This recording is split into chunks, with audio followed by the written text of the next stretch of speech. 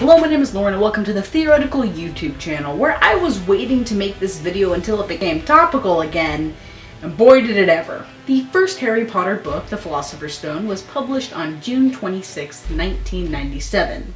The first movie premiered on November 14, 2001. In between that time, the next three Harry Potter books had been published and the following behind this series had exploded. Millions of readers were enthralled by the world of the boy who lived and desperate for more content.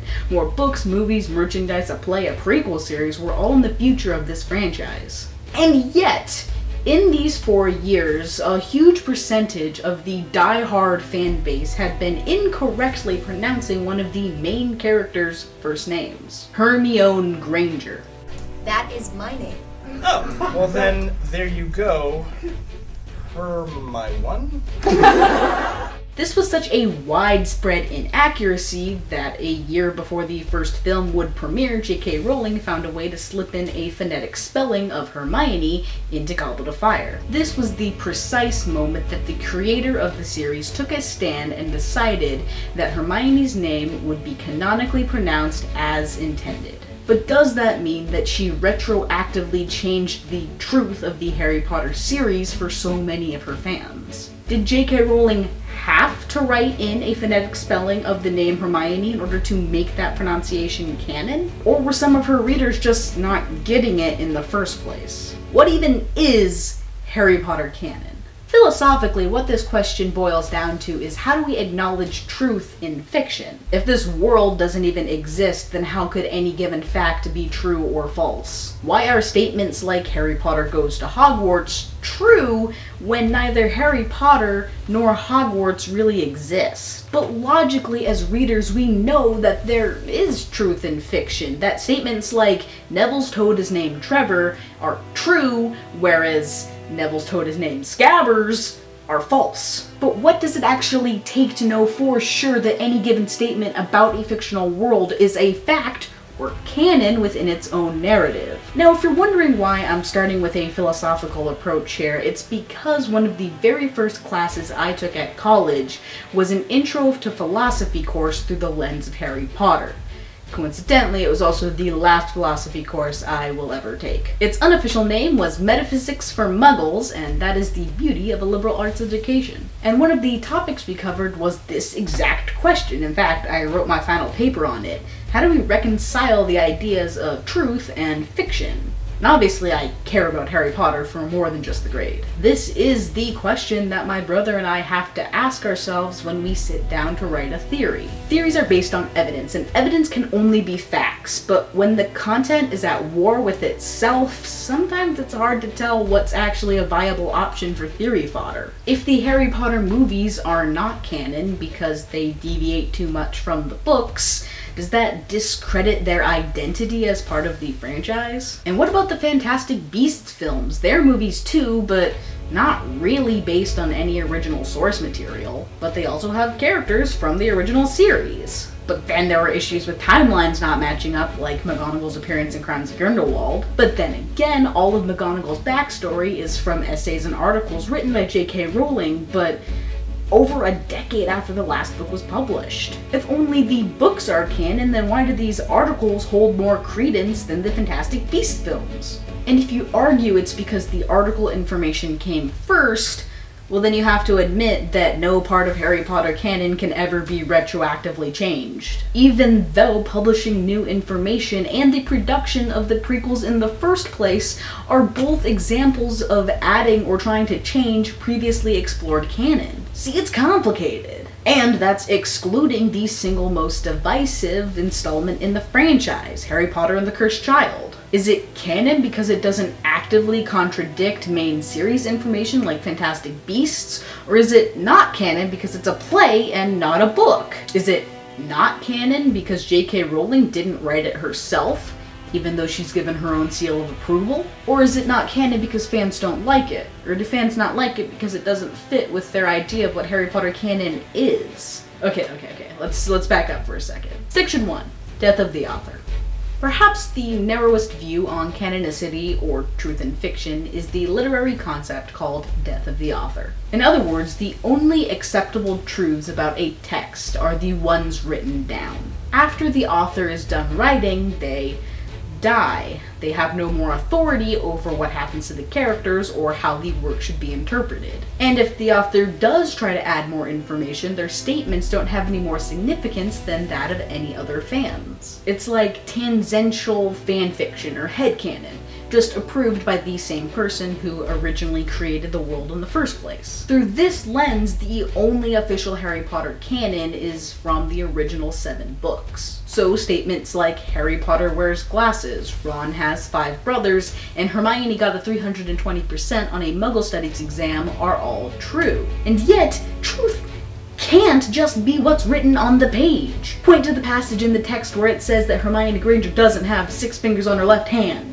Where in the text does it say that Voldemort wasn't best friends with Rubeus Hagrid? So then why are these statements incorrect? Why can't we just fill in between the lines with whatever we want? Why can't 2 plus 2 equal 6 in the world of Harry Potter? Why do we assume that gravity works the same as in our world? Well, because it would be a significant thing to leave out of the story, right? Section 2 World Building. The world of Harry Potter is so similar to our own that unless it's directly contradicted, we can pretty much just transfer information from our world into this one. For instance, while magic clearly doesn't exist in our world, we can assume that taxes still exist in theirs, or at least in the muggle world of Harry Potter. The world building aspects of the Harry Potter world are dictated by the differences from the world that the readers experience every day. J.K. Rowling had to write about house elves and goblins and dragons and mer people to populate her world because they do not appear in ours. She didn't have to write about the planet Neptune, Jane Austen's Pride and Prejudice, or the Grand Canyon for us to assume that these things still exist, even if they aren't relevant to the story. In other words, we had to be told that Harry's scar was in the shape of a lightning bolt. We didn't have to be told that scars don't heal. We can assume that Hermione has ten fingers, and that Voldemort was not best friends with Hagrid because these would be significant details to leave out. So, Death of the Author covers both the fact that what's written is written, and that we can fill in some of the blanks with reasonable assumptions. What it does not condone is authorial intention. Oh man, does J.K. Rowling have some authorial intentions. Section 3 Retroactive Canon Adjustments. The thing about Death of the Author is that very few authors truly subscribe to this idea and that makes sense. If I'm expected to create a logically consistent and entertaining world that serves as a partial allegory for real world issues, then I'm gonna want my opinion to mean something. Whether we acknowledge it or not, authors pretty much always have intentions. And J.K. Rowling is no exception. It's not a coincidence that J.K. Rowling is an outspoken feminist.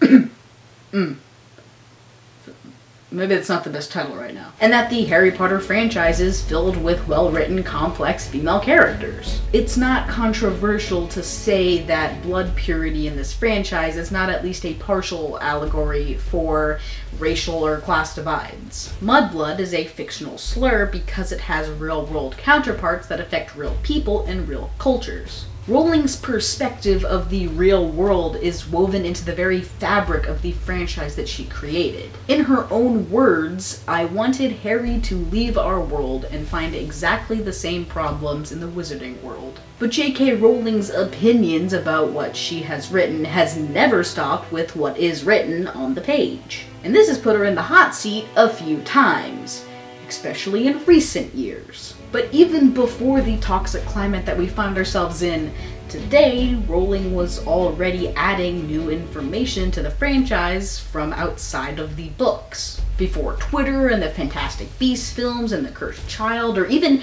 Pottermore or the original J.K. Rowling website, there was the infamous Carnegie Hall interview. In 2007, shortly after the last Harry Potter book was published, and before I myself had read the first, in a Q&A session, Rowling revealed that she had, quote, always thought of Dumbledore as gay. And so the face case of the debate was born. Is J.K. Rowling allowed to add to the Harry Potter canon outside of the Harry Potter books? Because nothing gets people's blood boiling like arguing over the sexual preferences of an old fictional dead guy whose personal relationships never affected the plot in any way. Well, Dumbledore was always very private, even as a boy. Obviously, this was the big controversial issue to come out of the interview, but on the same night, Rowling also said Neville Longbottom married Hannah Abbott, the Horcrux in Harry Potter wasn't destroyed by the basilisk because Fawkes's tears came so soon, Snape has a portrait in the headmaster's office, and that quote about Harry encountering real world problems. None of that information has ever been in the books,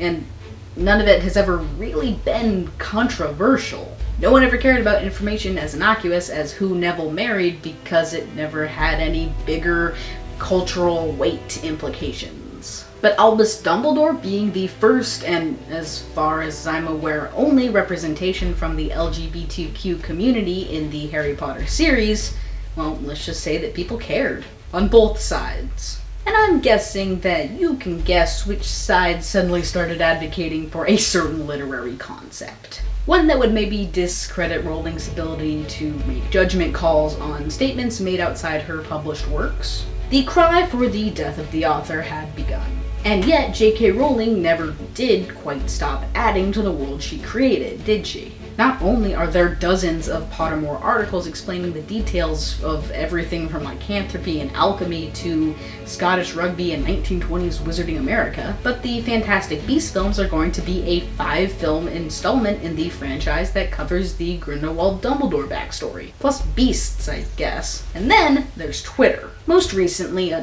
having to do with explicitly Harry Potter content, J.K. Rowling was met with a less than enthusiastic response when she tweeted that wizards used to pee their pants and then vanish away the waste. In 2018, she received backlash on two fronts for revealing that Nagini had once been a woman and had since transformed into a snake. Some accused her of racism for casting a Korean actress to play what would eventually become a subservient evil character, and some people just refused to believe that she had kept this secret reveal for 20 years. Especially since Nagini hadn't actually been a Harry Potter character until the fourth book.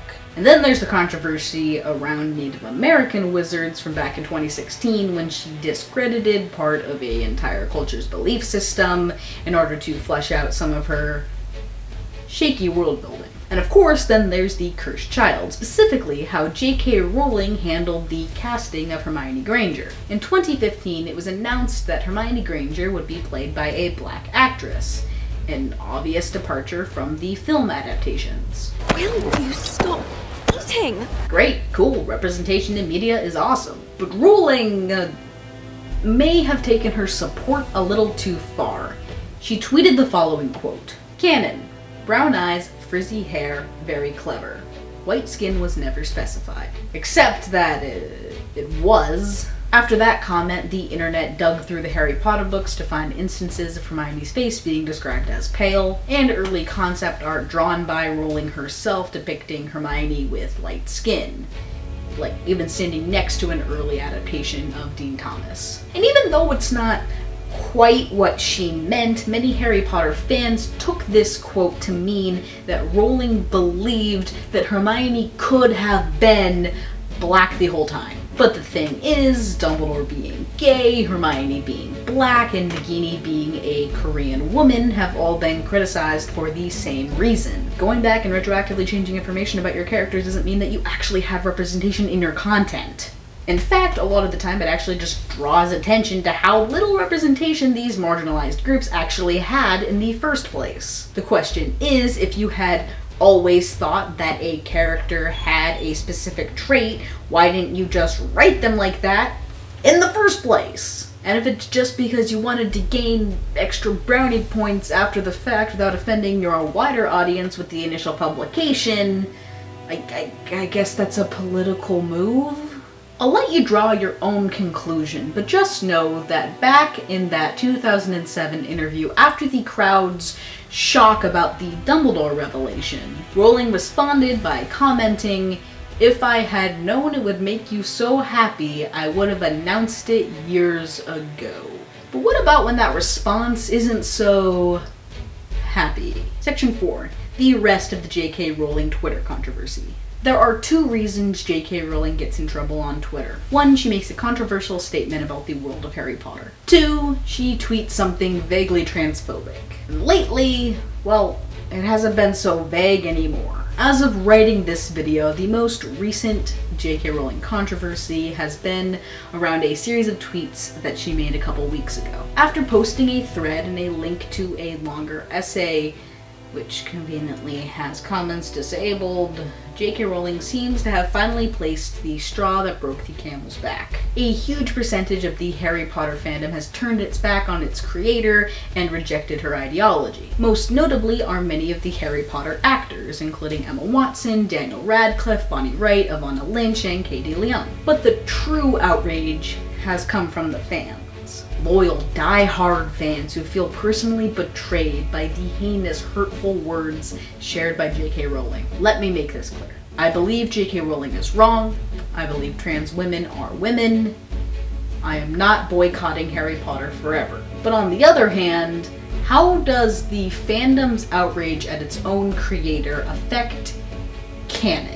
In my final paper for my philosophy class, I wrote the following conclusion. I personally believe that Rowling's power to dictate truth in her fiction derives from our trust in her as a mediator. If every individual's version of Harry Potter was technically true, then any contradiction between readers could not be settled. However, because a large majority of fans do trust Rowling to make logical decisions based on her deep understanding of the series, we have elected her as an authority to keep the consistency of her creation. Her power to make decisions directly stems from our faith in her judgment. If one day she begins to make enough claims to alienate a majority of her audience, her credibility could be damaged enough to shake her position, and an outraged fanbase would be justified in rejecting her authority over canonicity but so long as her audience generally trusts her judgment, Rowling remains the most powerful factor in determining what's true about the wizarding world. Her interpretation of the series is the single most credible source of knowledge about the world of Harry Potter, its characters, and its laws of nature. For now. Has J.K. Rowling officially violated the trust that she had built up with her fandom enough to corrode her authority over Harry Potter? If we can't trust her ability to make sound judgment calls on statements made outside of them, maybe the Harry Potter books really are the only Harry Potter canon. But really, the decision is ours as fans. For years, people have rejected the Cursed Child as canon for a variety of reasons. Some say it's because it's not one of the original books, or by the original author, or because they just don't like it. But I'd argue that what's kept The Cursed Child from being accepted into the canon is the fact that the play itself is not logically consistent with the series. Fans know that the time travel in the story does not make sense with the rules for time travel already established in the franchise. Fans know that the characters that we've grown to love would never behave the way they do in the play. Despite being approved by the supposed universal authority over Harry Potter canon, the Cursed Child has never quite been canon because the fans didn't approve it. For over 20 years, the Harry Potter fandom has relied on J.K. Rowling as a mediator over headcanon. But clearly, we don't need her all the time. After all, her most controversial statements have nothing to do with the fictional lore of her universe. It's more about not understanding our world. Perhaps she'd either have to forget something particularly important or try to add something just so ridiculous that the fans would finally reject it. But it does beg the question if everyone suddenly decided that it didn't matter what was written into the books or said in the movies, and that a certain name was actually pronounced Hermione Granger, would that invoke death of the author? Could the fans kill the author themselves? Just to be clear, I meant figuratively kill the idea of the author. You guys get it. I mean, the, the literary term is called Death of the Author, and I was trying to be clever. Anyway, today's video is a little bit more serious than usual. Many people were hurt by the words of J.K. Rowling, and I really wanted my message to do two things. Explore the interesting nuances to the idea of truth and fiction, inform people that you can, in fact, at least partially separate art from artists, even if there is strong authorial intention behind the writing. In many ways, Harry Potter has always belonged to the fans more than the author, and I hope that people will still continue to find what they've always loved in the series. Even if it's problematic, it's not worthless. And now for the obligatory self-promotion portion of the outro. If you liked this video, please subscribe to the channel for tons of Harry Potter content. You can physically like this video if you enjoyed or want more of this kind of longer form, non-theory related videos. You can also follow us on Twitter at theory underscore central, where I assure you we are yet to start any sort of scandal or controversy. I mean, it's a little hard with only 13 followers, three of which are our parents. But anyway, thanks for watching, and we'll see you later. Just something to think about. Now, off to bed. Pip, hip.